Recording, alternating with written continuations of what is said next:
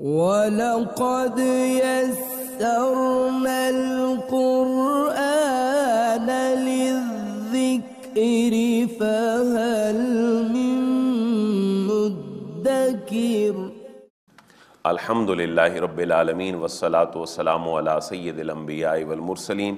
اما بعد، فاعوذ باللہ من الشیطان الرجیم. بسم اللہ الرحمن الرحیم. قابل صد احترام سورہ شعراء انیسویں پارے میں اس کی تلاوت ہماری جاری اور ساری ہے اور اس کی دو سو ستائیس آیات مبارکہ، گیارہ رکوع اور مکی صورت ہے۔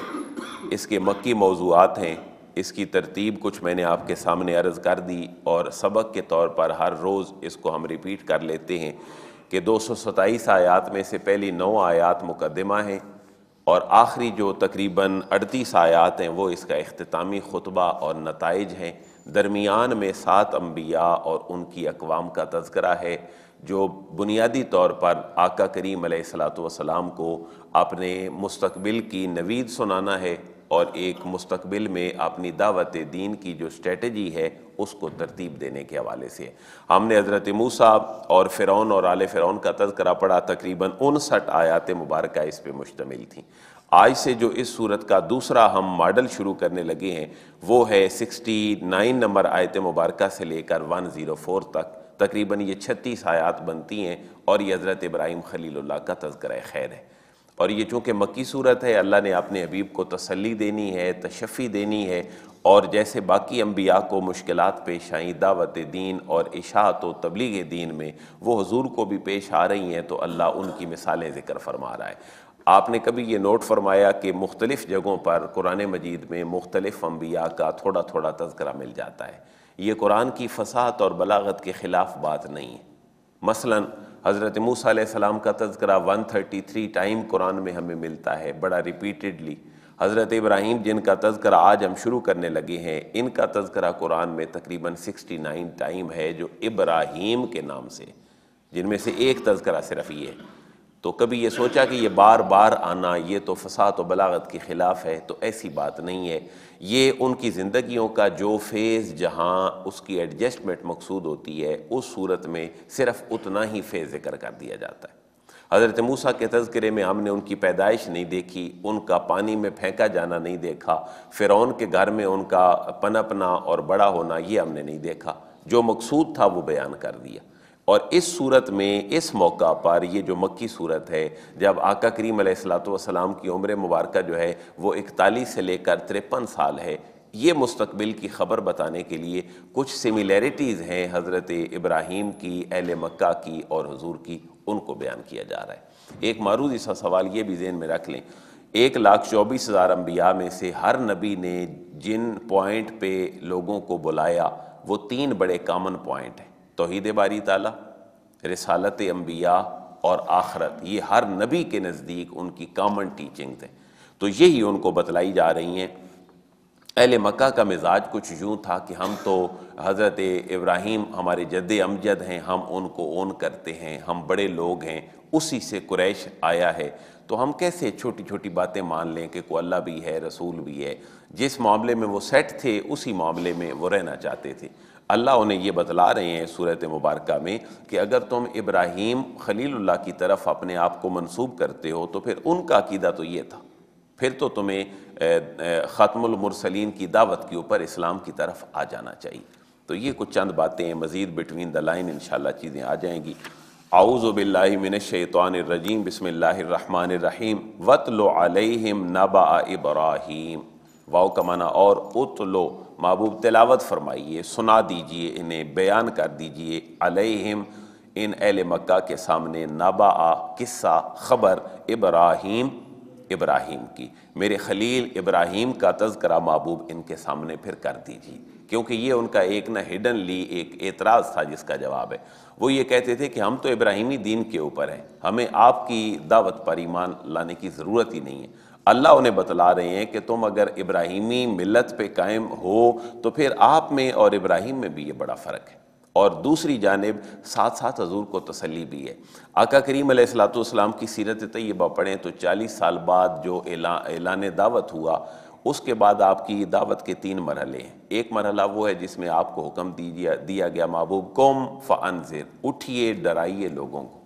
اور پھر اگلا حکم تھا وانزر عشیرہ تکل اقربین محبوب آپ نے قریبی رشتہ داروں کو ڈرائی۔ یہ تین سال تک تقریباً خفیہ دعوت چلتی رہی۔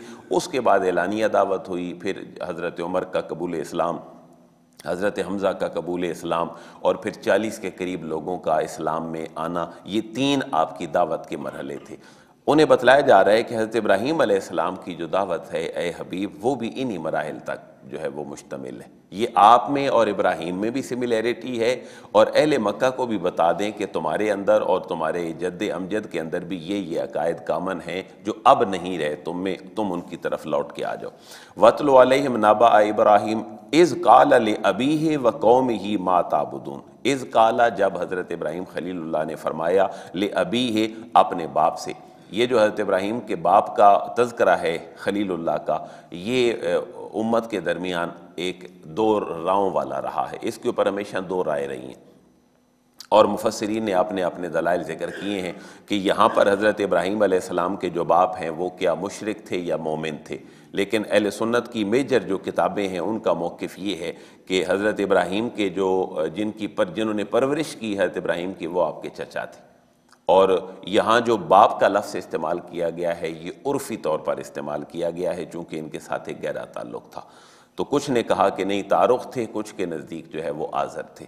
از کال ابی ہے، جب آپ نے اپنے عرفی باپ کو کہا، و قوم ہی، اور اپنی قوم سے کہا، ما تابدون تم کس کی پرستش کرتے ہو؟ یعنی یہ دعوت تبلیغ وہ ہے جو گھر سے شروع ہوئی ہے۔ اور حضور کی بھی دعوت گھر سے شروع ہو رہی ہے۔ کالو نہ بودو اس نامن فن ذلو لہا آکفین کالو تو انہوں نے جواب دیا نہ بودو ہم تو پوجتے ہیں اس نامن بتوں کو فن ذلو اور پھر ہم کنٹینیوسلی بیٹھے رہتے ہیں، لہا ان کے لیے آکفین بڑے منہمک ہو کر اور بڑے یکسو ہو کر۔ یہ جو نزلو ہے، یہ ورب ہے۔ یہ ہنڈرڈ پرسنٹ ورب نہیں کہلاتا عربی میں۔ یہ ناقص جو ورب ہے یا تھوڑا جو فعل ہے، وہ کہلاتا ہے۔ فعل کے قریب کا معنی دیتا ہے۔ اس میں کنٹینیوٹی کا معنی پایا جا رہا ہے۔ فنزل لہا آکفین اور ہم ان، انہی کی پوجا میں ہر وقت منہمک رہتے ہیں۔ جیسے اعتکاف انسان بیٹھتا ہے بڑی کنسنٹریشن کے ساتھ فوکس کر کے، تو آکفین وہاں بھی اعتکاف ہے، یہاں بھی اعتکاف ہے۔ یعنی ہم یکسو ہو کے اپنے جو بت ہیں، ان کی پوجا میں بیٹھے رہتے ہیں۔ اب حضرت ابراہیم علیہ السلام کی دعوت، ہر نبی کی دعوت کی طرح پہلا مرحلہ غور و فکر ہے۔ ذرا غور کرو۔ کال حل یسمعون کم از تدعون؟ اچھا تم بتوں کی پوجا کرتے ہو۔ تو ذرا یہ بتاؤ کہ حل یسمعون کم کیا وہ تمہاری بات سنتے ہیں؟ از تدعون، جب تم انہیں بلاتے ہو یا پکارتے ہو تمہاری بات سنتے ہیں۔ یعنی ڈنڈے والی تبلیغ نہیں ہے، بلکہ ان کو غور و فکر کی دعوت دی گئی ہے۔ او ینفعونکم او یدرون، اگر تم پکارو اور جواب دے دیں، یا تمہارے لیے کوئی نفع مند ثابت ہوں، او یدرون، یا تمہیں ضرر اور نقصان پہنچا سکیں۔ کیا کوئی ایسی بات ہے؟ تو سوچنے کے بعد وہ لاجواب ہو گئے کہ یہ سنتے بھی نہیں ہیں، یہ بت ہمارے نفع بھی نہیں دیتے، یہ بت ہمارے نقصان بھی نہیں دیتے۔ پھر جواب کیا دیا جائے ابراہیم خلیل اللہ کو؟ جواب یہ ہے، بل وجد نا آبا انا یہ سنے نہ سنیں یہ نفع دے نہ دیں، یہ نقصان دے نہ دیں، ہم نے اپنے باپ دادا کو ایسے ہی کرتے دیکھا ہے تو ہم بھی یہی کرتے ہیں۔ کالو انہوں نے لاجواب ہو کر کہا، بل بل کے وجد نا ہم نے پایا اس کام پر آبا انا اپنے آبا و اجداد کو کزالے کا یف وہ بھی اسی طرح کرتے تھے۔ تو ہم بھی اسی طرح کرتے ہیں۔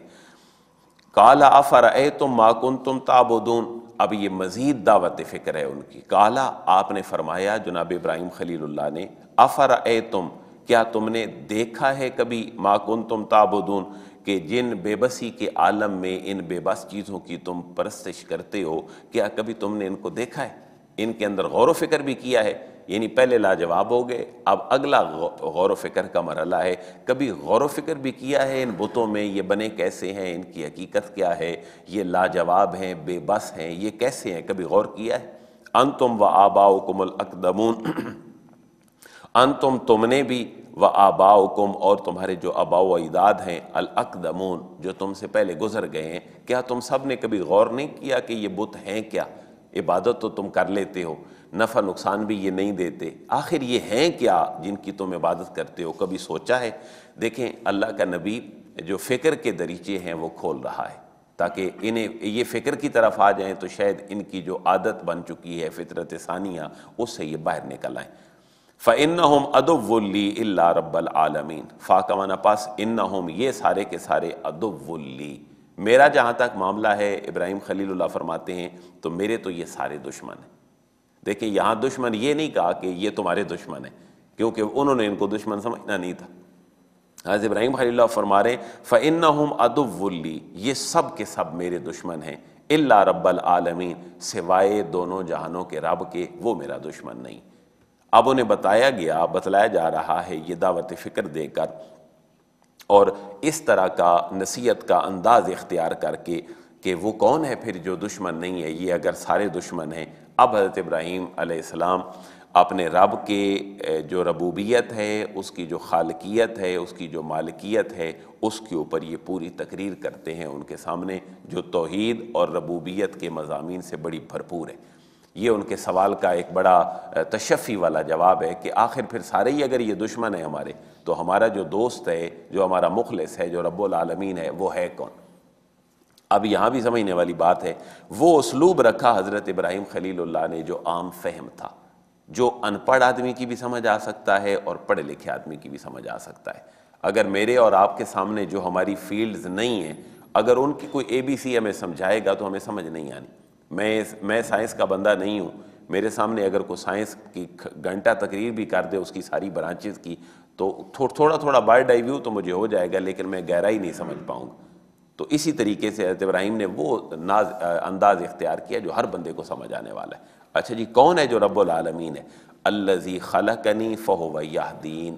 الزی میرا رب وہ ہے، خلقنی، جس نے مجھے پیدا کیا ہے، فہو یہدین۔ اور پھر وہ ہر مرحلے پر میری رہنمائی بھی کرتا ہے۔ سب سے پہلی رہنمائی وہ ہے جو حضرت انسان اپنی ماں کو ہلکا ہلکا پہچانتا ہے۔ پہلے سال تو وہ بھی نہیں پہچان پاتا۔ مجھے دودھ کس نے دینا ہے؟ میرا ویل وشر کون ہے؟ میں نے سونا، اٹھنا، بیٹھنا، یہ جو فطرتی تربیت ہے، یہ اس کی بات ہے۔ خالہ کنی، جس نے مجھے پیدا فرمایا، فہو یادین، اور پھر وہ میری رہنمائی کرتا ہے۔ یہ چونکہ ہر بندے کا مسئلہ تھا تو انہیں سمجھ آ گیا بھائی اچھا یہ کام ان کا اللہ کرتا ہے۔ تو وہ سوچنے پہ مجبور ہوئے۔ ولزی ہو یت ایمونی و یسکین حضرت ابراہیم کے رب کی دوسری صفت یہ ہے ولزی اور وہ وہ ہے الزی ہو یت ایمونی جو مجھے کھلاتا ہے، وہ یسکین اور مجھے پلاتا ہے۔ کھانا پینا ہر بندے کا مسئلہ تھا، پڑھ، ان پڑھ کا، جاہل، گنوار کا، تو وہی چیزیں جو ہیں وہ بتائی گئی میرا رب وہ ہے جو مجھے کھلاتا ہے اور مجھے پلاتا ہے۔ وہ ایزا مرد تو فو و یشفین اور جب میں بیمار ہوتا ہوں تو وہ مجھے شفا بھی دیتا ہے۔ اچھا یہاں ہمیں میڈیکل ایک اصول بھی مل رہا ہے کہ پہلے تذکرہ کھانے پینے کا ہے، پھر تذکرہ بیماری کا ہے۔ کہ بیماریاں موسٹلی جو ہیں وہ کھانے پینے کا نتیجہ ہوتی ہیں۔ ہماری خوراک کا عدم توازن جو ہے، یہ قرآن کا ایک اسلوب ہے۔ ہماری خوراک کا عدم توازن ہمیں بیماری کی طرف لے جاتا ہے۔ تو پہلے تذکرہ کھانے پینے کا ہے، پھر تذکرہ بیمار اور شفا ہونے کا ہے۔ بہت ساری ایٹی، نائنٹی پرسنٹ بیماریاں ہماری خوراک کے عدم توازن کی وجہ سے ہماری، ہمارے بھوکا رہنے سے کبھی کوئی انسان بیمار نہیں ہو۔ اور بھوکا رہنے سے کوئی مرا نہیں، لیکن زیادہ بیماریاں اور زیادہ مرنا جو ہے وہ کھانے اور پینے کی وجہ سے ہے۔ اور جو حضرت ابراہیم علیہ السلام کا یہ قول ہے، وَإِذَا مَرِدْتُ فَهُوَ یشفین یہ بڑے ادب پہ مشتمل ہے۔ بیماری بھی من جانب اللہ ہوتی ہے، شفا بھی من جانب اللہ ہوتی ہے۔ لیکن یہاں حضرت ابراہیم کہہ رہے ہیں، وَإِذَا مَرِدْتُ جب میں بیمار ہوتا ہوں تو فَهُوَ یشفین شفا مجھے وہ دیتا ہے۔ تو بیماری کی نسبت اپنے طرف کر لی اور شفا کی نسبت اللہ کی طرف کی۔ یہ حسن ادب ہے ایک نبی کا، ایک خلیل کا، جو وہ بارگاہ الوحیت کا ہمیں ادب سکھا رہے ہیں۔ والذی یمیتنی ثم یحیین واؤ کا معنی اور الذی جو یمیتنی۔ جو مجھے مارتا ہے میرا رب تو وہ ہے جو مجھے مارے گا۔ ثم یحیین اور پھر مجھے زندہ بھی کرے گا۔ یہ جو عقیدہ ہے، یہ اہل سنت کا چودہ صدیوں سے عقیدہ ہے کہ مرنے کے بعد بھی انسان زندہ ہوتا ہے۔ کچھ گروہ ایسے امت کے اندر گزرے ہیں جو عذاب قبر کے اور قبر کی زندگی کے منکر رہے ہیں۔ لیکن یہ استدلال ہے ولزی یمیتنی جو مجھے مارے گا، ثم یحیین پھر مجھے زندہ کرے گا۔ والذی اتمو ان یغفر لی خطیئتی یوم الدین اور میرا رب وہ ہے والذی اور وہ ہے اتماؤ میں تمہ رکھتا ہوں، میں لالچ رکھتا ہوں، جس کے بارے میں ان یغفر لی کہ وہ مجھے بخش دے گا۔ دیکھیں حضرت ابراہیم خلیل اللہ کا مقام خلیلیت۔ اور مقام خلیلیت کے بعد بھی جو ہے وہ نازا نہیں ہے اپنی عبادت پہ۔ وہ کہتے ہیں، میں تما رکھتا ہوں، میں امید رکھتا ہوں این یغفر علی کہ میرا رب مجھے بخش دے گا۔ یہ بھی ہڈنلی ایک تعلیم ہے، اخلاقیات ہے کہ انسان اپنی عبادت پہ اترائے نہ۔ حضرت ابراہیم کو مقام خلیلیت نصیب ہے۔ پھر بھی امید رکھتے ہیں کہ این یغفر علی یقین سے نہیں کہہ رہے میرا رب وہ ہے جو میری عبادات کے بعد مجھے بخش دے گا۔ میں امید کرتا ہوں کہ میرا رب مجھے بخش دے گا۔ خطیعتی میری خطاؤں کو یوم الدین جو حساب کتاب کا دن ہے، اس دن وہ مجھے بخش دے گا۔ دیکھیں یہاں باتوں باتوں میں جو تعلیمات تھی نبی کی، وہ بھی پہنچا دی۔ یعنی آخرت کی بات ان تک پہنچا دی۔ حالانکہ وہ منکر تھے اس بات کی۔ یہ ساری تقریر کرنے کے بعد، حمد و ثناء اللہ کی کرنے کے بعد اب حضرت ابراہیم علیہ السلام ان کو بتلا بھی رہے ہیں باتیں اور ساتھ ساتھ اللہ سے دعا بھی کر رہے ہیں۔ رب حبلی حکم و الحکنی بالصالحین۔ رب اے میرے رب حبلی مجھے تو گفٹ کر دے، مجھے بخش دے، مجھے عطا فرما دے۔ حکمہ علم اور کما عمل، جو بڑے کمال کا ہو، میں جس کے بعد ان قوموں کو لاجواب کر کے تیری حضوری حاضر کر دوں۔ اللہ مجھے ایسا حکم یعنی ایسا علم اور ایسا عمل جو نبی کا ہے، جو لوگوں کی ہدایت کا باعث بنتا ہے، اللہ مجھے وہ دے دے۔ وہ الحکنی بالصالحین یہ دیکھیں نا نیکو کاروں کی صحبت تو اللہ کا نبی اور خلیل بھی مانگ رہا ہے۔ یہ ہے صحبت اور دوست اور فرینڈشپ، جس کی دعا اللہ کا نبی کر رہا ہے۔ کیونکہ انسان ہمیشہ اپنے ماحول کا آدمی ہوتا ہے۔ آج نوجوان نسل اپنی نوجوان جو دوستیاں ہیں، ان کی وجہ سے خراب بھی ہوتی ہے اور ان کی وجہ سے ٹھیک بھی ہوتی ہے۔ کہ حضرت ابراہیم علیہ السلام بھی اپنی میت میں نیک لوگوں کی میت مانگ رہے ہیں۔ اللہ مجھے نبوت یعنی علم و عمل دے دے و الحکنی اور مجھے ملا دے، میرا الحاق کر دے بصالحین نیک لوگوں کے ساتھ۔ تو کیونکہ یہ جو قرب و جوار کی چیزیں ہیں، یہ انسان کی طبیعت اور انسان کے انداز زندگی پر بڑی اثر انداز ہوتی ہیں۔ وج علی لسان صدقن فی الآخرین وج ال اور اے اللہ بنا دے لی میرے لیے لسان صدقن لسان زبان کو کہتے ہیں صدق سچی۔ یعنی اللہ میری جو سچی ناموری ہے وہ بنا دے۔ فی الآخرین میرے بعد آنے والوں میں۔ اور اس دعا کو شرف اجابت کب ملا؟ جب آقا کریم علیہ السلاۃ والسلام کی بیست ہو گئی اور پھر دین ابراہیمی اور ملت ابراہیمی کا پرچار جو حضور نے کیا، بنیادی طور پر یہ اس دعا کی قبولیت کا اصل وقت آیا۔ وج علی اور اللہ بنا دے میرے لیے لسان صدقن، سچی ناموری فی الآخرین بعد میں آنے والوں میں۔ وج النی من ورثت جنت النعیم وج النی اور اللہ بنا دے مجھے من سے ورثہ وارث جنت النعیم، جو نعمتوں والی جنت ہے، اللہ اس کا جو وارث ہے، ان میں سے مجھے بنا دے۔ وغفر لے ابی اور اللہ بخش دے لے ابی میرے عرفی باپ کو انہو کان من الضالین، کیونکہ وہ گمراہ لوگوں میں سے تھا۔ ولا تخزنی یوم یبعثون اور اے اللہ، ولا تخزنی اور اے اللہ، مجھے شرمسار نہ کرنا، یوم یبعثون، جس دن لوگ قبروں سے اٹھائے جائیں گے۔ یعنی یہ ساتھ ساتھ جو ہے، اپنی قوم سے خطاب بھی ہے، اللہ کی حمد بھی ہے، اور جو پریچنگز ہیں، جو آپ کا انداز تبلیغ ہے، اس میں بھی باتیں ان تک پہنچ رہی ہیں کہ قیامت بھی کو بات ہوتی ہے۔ یوم لا ینفع مال ولا بنون، ان کے سارے سوالوں کے جواب جو نفسیاتی طور پر آپ ارشاد فرما رہے ہیں، جو ان کے ذہنوں میں پیدا ہو سکتے تھے۔ آپ کی تقریر کے دوران انہیں پتہ چل گیا کہ مرنا بھی ہے اور مرنے کے بعد اٹھنا بھی ہے، تو پھر ذہن میں سوال ہو سکتا تھا، جس دن اٹھنا ہے، اس دن ہمارا قریشی ہونا دیکھا جائے گا، ہمارا ابراہیمی ہونا دیکھا جائے گا، ہمارا بڑا ہونا دیکھا جائے گا، کسی مکے قبیلے کا سردار ہونا دیکھا جائے گا، اور میں نہیں۔ یوما وہ دن ایسا ہوگا، لا ینفع نفع نہ دے گا اس دن مالن نہ کوئی مال ولا بنون۔ اور نہ ہی بیٹے، اولاد، کوئی بھی چیز وہاں نفع نہیں دے گی۔ ہاں نفع ایک چیز دے گی، وہ کیا ہے؟ اللہ من اط اللہ بکل بن سلیم اللہ مگر من جو عطا لے کر آئے گا، اللہ اللہ کے پاس بے کل بن سلیم کلب سلیم لے کر جو آئے گا ہاں اس کو فائدہ دیا جائے گا ادروائز کوئی فائدہ نہیں دیا جائے گا۔ اور یہ کلب سلیم ہے کیا؟ کلو کلو مولود یولد علی الفطرہ، ہر بچہ فطرت اسلام پہ پیدا ہوتا ہے۔ اس کے باپ اس کو یہودی، عیسائی اور باقی مذاہب سکھاتے ہیں۔ اللہ چاہتا ہے جیسا میں نے دل تمہیں دے کے بھیجا تھا، میں ایسا ہی دل تم سے واپس چاہتا ہوں۔ جو ونڈو کر کے تمہیں دی تھی، میں ایسی ہی ونڈو چاہتا ہوں واپسی پہ۔ وہ کرپٹ ہوئی ہوئی نہ ہو، یہ قلب سلیم کا بڑا سادہ سامان ہے۔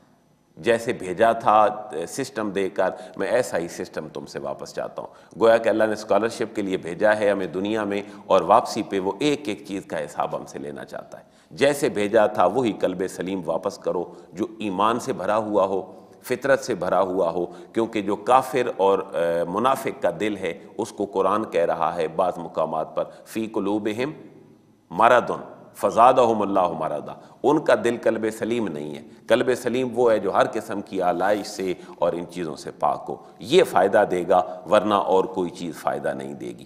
یہ حضرت ابراہیم کی گفتگو ہی ہے جو ابھی چل رہی ہے۔ اور یہ ایک آپ کی گفتگو نبی پاک صلی اللہ علیہ وسلم کی تسلی ہے اور اہل مکہ کو سملر بنانا ہے حضرت ابراہیم کی جو اوریجنل ٹیچنگز ہیں ان کے ساتھ اور اسی چیز کے اوپر یہ گفتگو جاری ہے۔ اللہ تبارک و تعالی حضرت ابراہیم کا جو کردار ہے معاشرے میں اور اللہ جس کردار کو ہمیں جس کی طرف لے جانا چاہتا ہے وہ یہودیت، عیسائیت اور مسلمان، ان سب کے جد امجد حضرت ابراہیم۔ یہ جو حضرت ابراہیم کا تذکرہ ہے یہ فائدہ سے خالی نہیں ہے۔ آج تمام مذاہب کو جو دعوت حق دینی ہے، اس میں ہم ناکام ہیں کہ ہم یہودیوں کو، عیسائیوں کو یا وہ ہمیں یہ باور کروا سکیں کہ ہم سارے اپنے فور فادر کے اعتبار سے ایک ہی ہیں۔ اور وہ کون ہیں؟ حضرت ابراہیم خلیل اللہ۔ یہ اس کو آپ انٹرفیس ڈائلاگ کہہ لیں یا کوئی اور اس کو نام دے دیں۔ یہ کم از کم ڈیوائن ریلیجن میں یہ بات آج باور کروائی جانی بہت ضروری ہے کہ ہم سب ایک ہیں جن کا ڈیوائن ریلیجن ہے۔ توحید رسالت آخرت پہ ہم متفق ہیں۔ باقی ہماری شریعت مختلف ہیں۔ ہم کم از کم ایک دوسرے کو نہ ماریں۔ اصل میں ہونا یہ چاہیے تھا کہ انسانوں میں دشمنی ہونی نہیں چاہیے تھی۔ لیکن اگر ہو بھی گئی تو ان الہامی مذاہب میں نہیں ہونی چاہیے تھی۔ آج دیکھیں فلسطین کا مسئلہ، اسرائیل کا مسئلہ۔ اگر ہونی تھی دشمنی تو یہ متحد ہوتے، یہ لڑتے تو ہندوؤں کے ساتھ لڑتے۔ یہ لڑتے تو سکھوں کے ساتھ لڑتے۔ یعنی کچھ کہا جا سکتا تھا کہ ان کی لڑائی بنتی ہے۔ لیکن یہ سارے انسانی آپس میں لڑ پڑے ہیں۔ تو یہ اللہ سے حفظ اور امان مانگنے کا وقت ہے کہ اللہ ہمیں حفظ و امان نصیب فرمائے اور انسانوں کو انسانوں سے محبت کی توفیق عطا فرمائے۔ وما علیہ اللہ